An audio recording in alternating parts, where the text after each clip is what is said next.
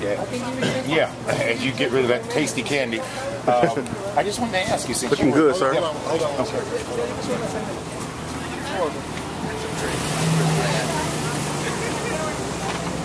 Yes, you're looking good. You're looking Thanks, good. thanks, You're I looking appreciate it. Um, I was just curious, you know, since you were involved in such a you know big controversy case, what did you think about the uh, Casey case? You know, uh, it's a very, very difficult case. I think uh, the jury did the best they could with the evidence that they had. Uh, I think they paid attention. Uh, there were two cases going on. There's the case in public opinion and the case in the courtroom. And the case in the courtroom, the jury spoke.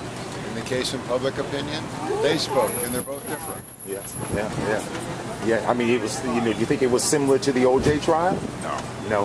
nothing similar to that. Yeah. See you later. Okay. Have a good Have a great evening. Thank you very much. Take care, much. sir. big uh,